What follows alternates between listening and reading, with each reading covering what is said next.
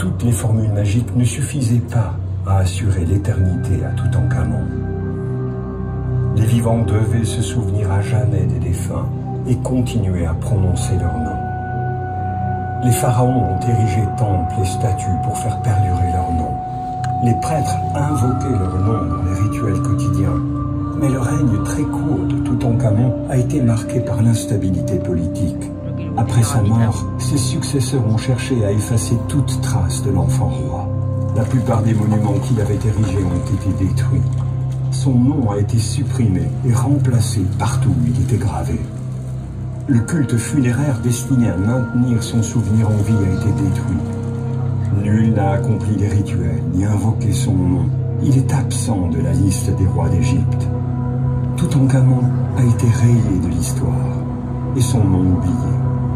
Cela dura des milliers d'années. Au fil des ans, ce calice des souhaits est resté dans le noir près de l'entrée de la tombe de Toutankhamon jusqu'au 26 novembre 1922 lorsque Carter et Carnarvon